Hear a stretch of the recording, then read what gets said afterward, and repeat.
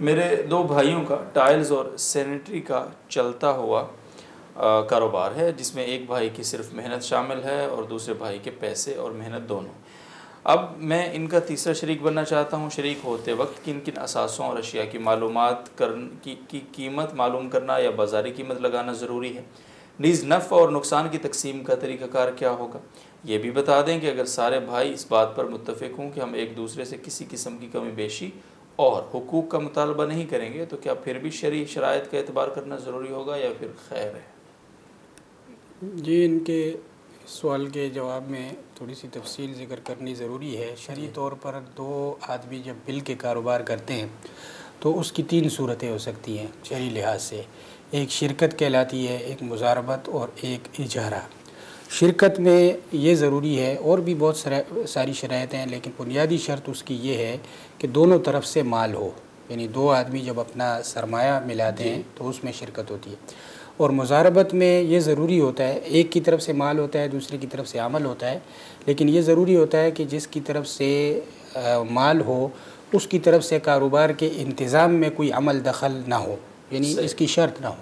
اور تیسری صورت جو اجارے کی ہے، اس کی خاص شرط یہ ہے کہ کسی، اجارے کا مطلب ہے کسی کو ملازم رکھنا۔ تو اس کے لیے وقت متعین ہو کہ کس وقت سے کس وقت وہ کام کرے گا، یا وہ کام متعین ہو کہ وہ کون سا کام کرے گا۔ تو یہ تین قسم کے ماڈل ہیں جو استعمال ہو سکتے ہیں۔ اب انہوں نے جو صورتحال لکھی ہے، اس میں ان کا معاملہ خود بھی انہوں نے واضح نہیں کیا اور ان کے دو بھائیوں کا جو پہلے سے رننگ بزنس ہے، اس میں بھی واضح نہیں ہے۔ انہوں نے یہ لکھا ہے کہ دو بھائی اس طریقے سے مل کے کاروبار کرتے ہیں کہ ایک آدمی کا تو سرمایہ بھی ہے اور محنت بھی ہے اور دوسرے کی صرف محنت ہے۔ تو اب یہ جس بھائی کی صرف محنت ہے تو یہ شرکت تو نہیں ہو سکتی کیونکہ دونوں طرف سے مال نہیں ہے۔ اور مزاربت بھی اس لیے نہیں ہو سکتی کہ دوسرے بھائی کی بھی کام میں شرکت ہے جبکہ مزاربت میں یہ ضروری ہے کہ سرمایہ والی کی کام میں شرکت نہیں ہوتی۔ تو یہ مزاربت بھی نہیں ہے۔ تو اب یہ صرف تیسری صورت رہ جاتی ہے کہ اس بھائی کو تنخواہ پر باقاعدہ ملازم رکھیں۔ تو اس لیے یہ ضروری ہے کہ اس بھائی کو اگر یہ اس کی طرف سے سرمایہ بھی نہیں ہے اور یہ باقی بھائی بھی کام کریں گے تو یہ ضروری ہے کہ ان کی کوئی لم سم تنخواہ یہ مقرر کر دیں کہ آپ کو ہر مہینے کام کی اتنی تنخواہ ملے گی۔ پھر اس کا حکم یہ ہوگا کہ چاہے کاروبار میں نفع ہو یا نقصان ہو، ہر حال میں اس بھائی کو وہ تنخواہ دینی ہوگی۔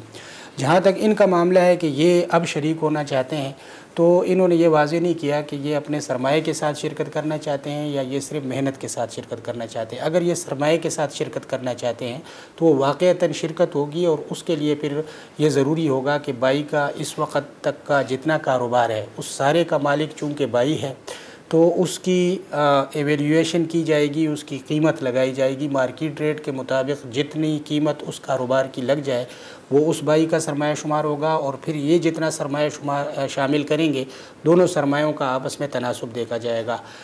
آئندہ کے لیے نقصان جب بھی ہوگا تو نقصان اسی تناسب سے یہ آپس میں تقسیم کریں گے۔ اس کے اندر کوئی اور نسبت یہ طے نہیں کر سکتے۔ جہاں تک نفع کا تعلق ہے تو نفع اگر یہ دونوں کام کریں گے یعنی یہ بھی کام کریں گے بھائی بھی پہلے سے کام کر رہے ہیں تو نفع یہ کچھ بھی طے کر سکتے ہیں۔ یہ ان کی انڈرسٹینڈنگ اور مفاہمت پر ہے۔ تو یہ تھوڑی سی تفصیل ہے اس سوال کے جواب میں۔ ٹھیک ہے۔ اور اگر کام ان میں سے ایک کرتا ہے؟